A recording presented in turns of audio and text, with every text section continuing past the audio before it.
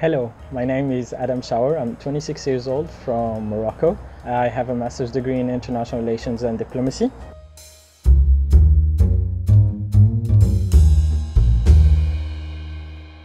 The EU should listen more and do with more and target unprivileged and underrepresented youth. We are on the track of positive change. It's just that we need to level up the pace. But as I said before, local youth should not be only receiver, but they should be co-founders, co-creators and co-initiators of these initiatives and these youth engagement programs. We need more local youth experience at, to experience at first hand what youth political engagement can achieve like it did in Europe. We need local youth to be part of the conceptualization of youth engagement programs and have it made in cooperation with Brussels and not made fully in Brussels. We need to support building organized form of youth representations such as councils and, and so on.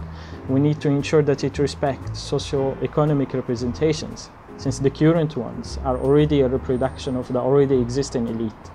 The EU need to reach out to the disengaged ones, the non-represented, and as well the disinterested ones, the voiceless, and empower them to regain their voice. the EU need to listen more and to work with more.